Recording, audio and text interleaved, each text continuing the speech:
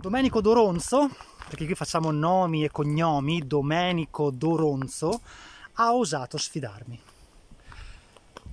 Allora, avete visto che ho fatto quel video in cui vi dicevo guai mai comprare un appartamento da 50.000 euro, adducendo tutte le ragioni, portandovi i numeri, la mia esperienza personale. Ho fatto il video, viene andato bene, ha fatto, non so, 12.000, 13.000 visualizzazioni nel momento in cui registro e poi sento plup plup, un messaggino che mi arriva su Whatsapp. E chi è? È Domenico Doronzo.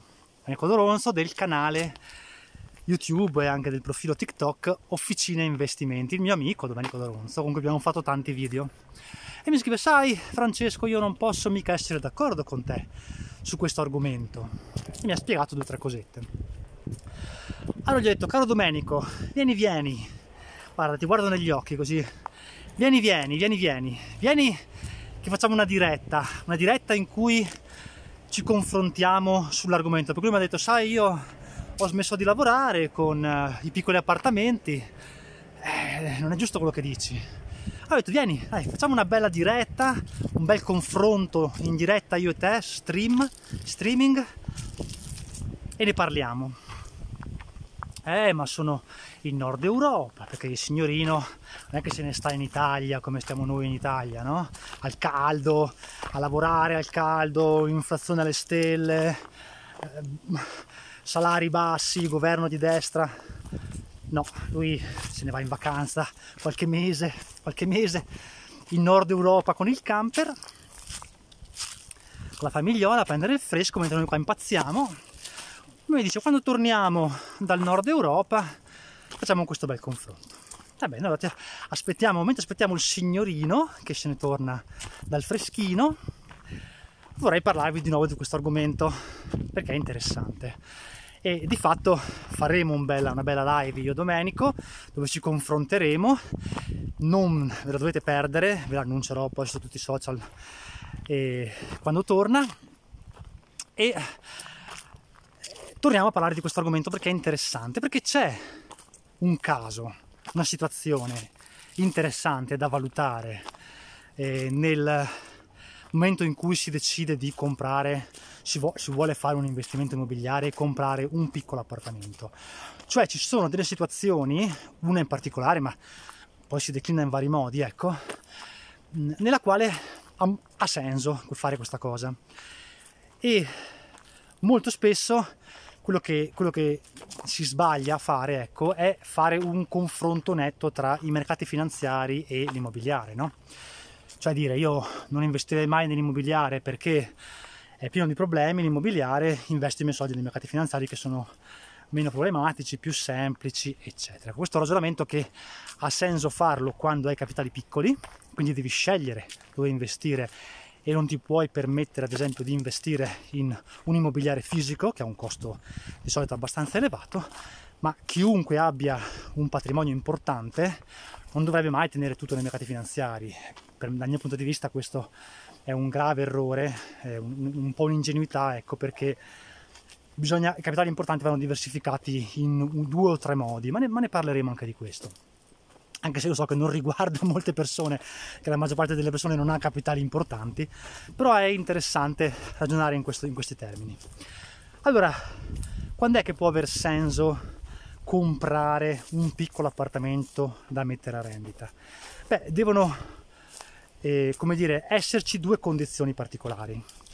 Una condizione è il fatto che tu non abbia soldi, cioè se tu non hai il denaro da investire, allora l'investimento immobiliare può diventare un investimento a leva, adesso ti spiego perché, e quindi a quel punto puoi fare quello che non potresti fare in altre tipologie di investimenti. Cioè, se tu non hai il denaro, se tu non hai questi 50.000 euro, ma vuoi comunque fare un investimento, quello che puoi fare è chiedere questi soldi alla banca.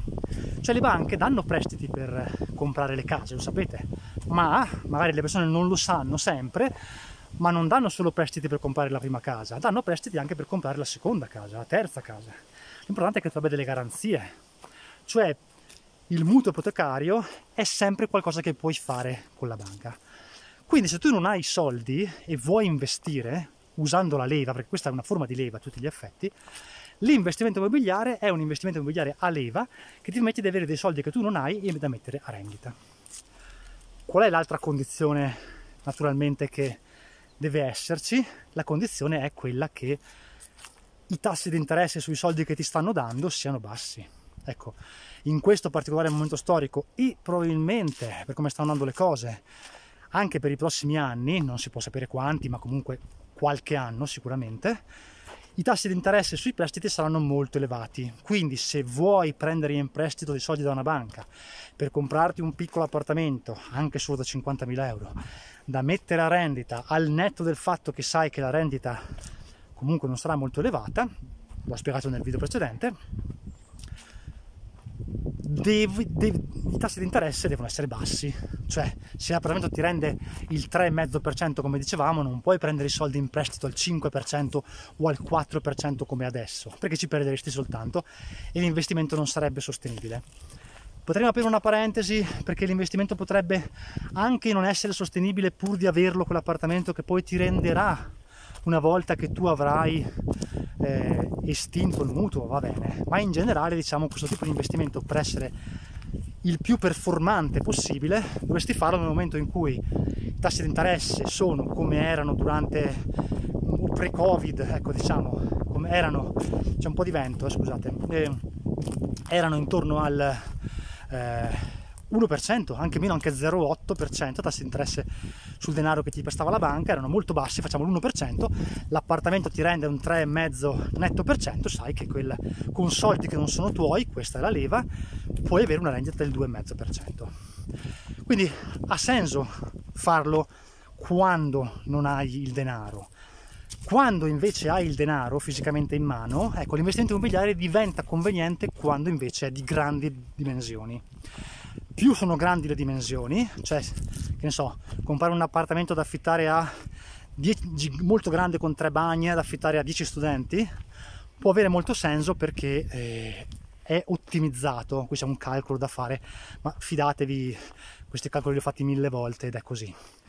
Cioè l'immobiliare fisico fatto con denaro contante che hai a disposizione ha molto senso quando è un investimento importante, che ha una rendita importante. Quando è che anche l'investimento a leva o anche l'investimento in denaro con, con, piccolo, in un piccolo appartamento ha senso quando la rendita di questo piccolo appartamento è molto elevata. Cioè, io ho fatto quel video in cui vi ho detto mai comprare un appartamento da 50.000 euro, ma io stesso possiedo un appartamento che al tempo, quando l'avevo comprato anni fa, valeva circa, un po' di più in realtà, 50.000 euro. Ed è l'appartamento che ho alle Isole Canarie. Però capite che quella rendita lì è una rendita molto particolare perché eh, conti alla mano rende un 8, quasi un 9% lordo, lordo, quasi un 9% lordo e allora inizia a essere una rendita che 9% lorda inizia a essere molto interessante, cioè mh, mm, è addirittura superiore, superiore a certi investimenti finanziari però qual è il rischio? Il rischio di avere un appartamento all'estero è molto elevato e ci vogliono condizioni molto particolari.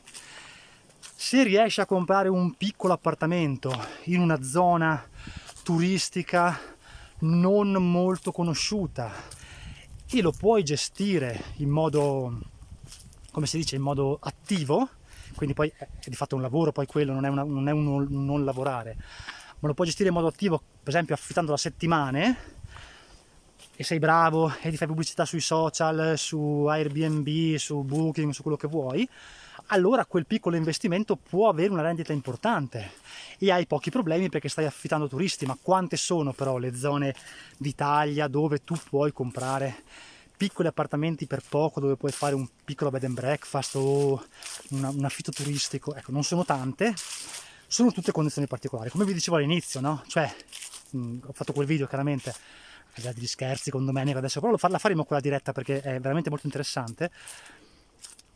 Nel 95% dei casi è un problema avere un appartamento così e non è un buon investimento, soprattutto se hai già i soldi.